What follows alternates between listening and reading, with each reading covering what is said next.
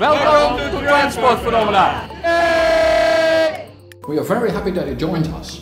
My name is Robert Mudde and I'm a professor at Delft University of Technology. And I am Peter Hamersma and I'm also a professor at Delft University of Technology. And together we will introduce you in the basics of transport phenomena.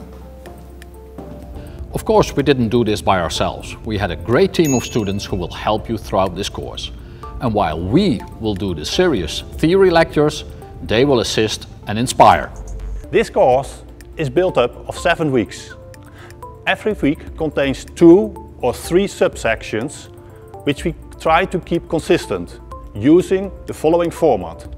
An introduction to the topic, an inspiring spark, a theory lecture, worked examples, exercises, answer videos and an ending pointing out the most important points you should have learned.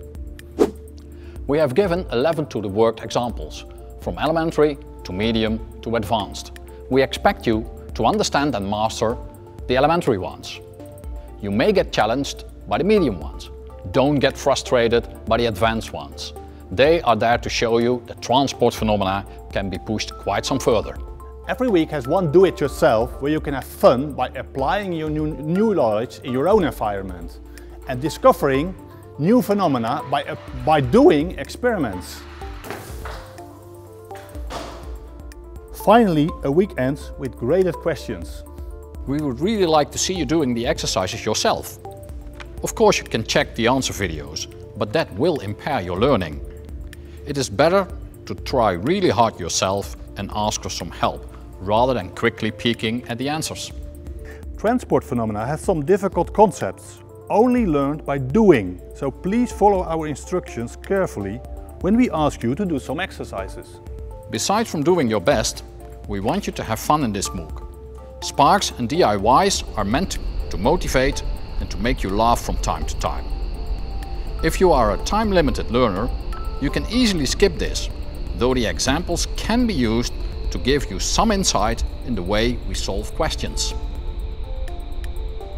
This edX platform gives you and us the unique possibilities of working together with all kinds of nationalities.